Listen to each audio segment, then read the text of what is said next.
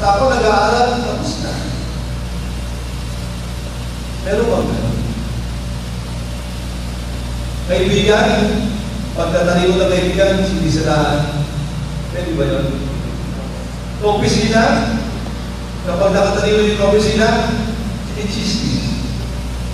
Sa community, paglabas ng chapel, o hindi mga nakakalabas, pinibos ako na isang brother. Amen. Ang may faith, brothers and sisters, is true to life's vision. Kung tatay, nagpapakatatay, hindi lang nagtatrabaho, minamahal ang asawa, minamahal ang mga anak. Sa kanila. Pero din ang asawa at babae, nanay, ang magulang, ang anak.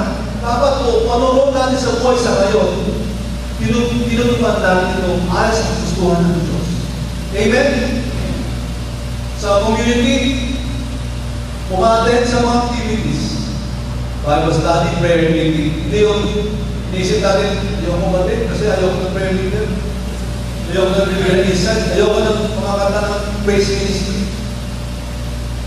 Pero tandaan natin, and sisters, kaya po tayo nasa prayer meeting, ay tayo mahal na natin, mahal natin ang ating. Amen? Kaya po tayo nagsisimba, hindi sa pare, dahil mahal natin Panginoon. Next test of faith. Ito, pa natin matapos. Mamahin, dumanang itin ng pusa, ako, malas. Ah, nanaginip ako, makataya ka sa loob. Horoscope, ano kaya sasabihin ng horoscope sa akin ngayong araw? Chain letters, pag hindi mo pina- pinadala ko, yung mangyayari sa'yo Bira. Sa Facebook, ganun din. Tapos, ano kaya mangyayari sa akin sa isang linggo? Magpahula ka. Magpahula yung ito, para sa swerte. Sino ang Diyos sa lahat ng ito? Ating Panginoon Diyos ka. Hindi mo. Sa superstition, sa pamahin, sa lahat ng yun, nawawala po ang dependence. May mga na tayo po tayo, dapat sa Diyos tayo aasa palagi. Sa Kanya lamang wala na iba. Amen?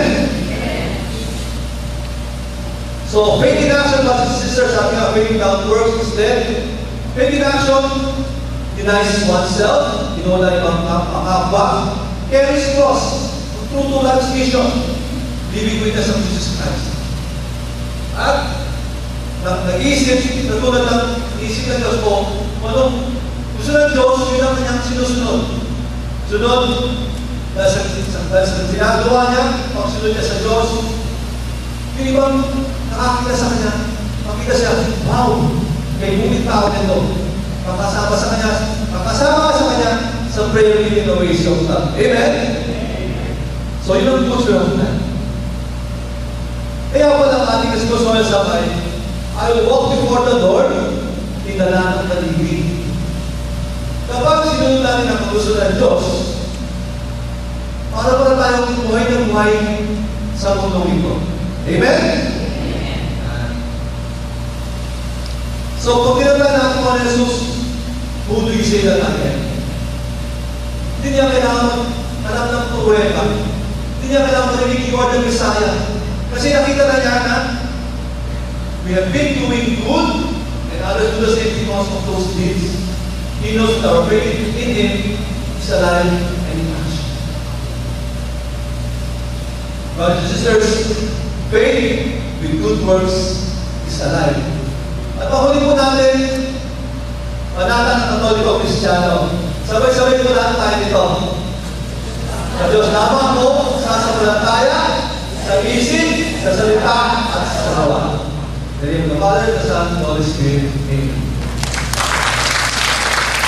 Thank you, Brother Okay, kayo na. Brothers and sisters, our prayer leaders for tonight. They are one of the core leaders po ng Oasis Love Community. O especially po sa social services ministry, worship ministry, and the parents encounter music. Brothers and sisters, with the love of the Lord, let's welcome Brother James and Sister Olive Guzman. Good evening, brothers and sisters. Magandang gabi po. Sabi ni Brother Norman, mahal na mahal natin ng Diyos. Amen? Pero brothers and sisters, mas mahal na mahal tayo ng Diyos. Na? So, pakita natin yung joy natin, kaligayahan natin, dahil alam natin na mahal na mahal tayo Diyos. Kaya, pakita natin. Let's... Di ba? Di ba masaya tayo? Amen.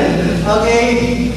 So, ang ating music Tuesday, papakita natin na masaya-masaya tayo dahil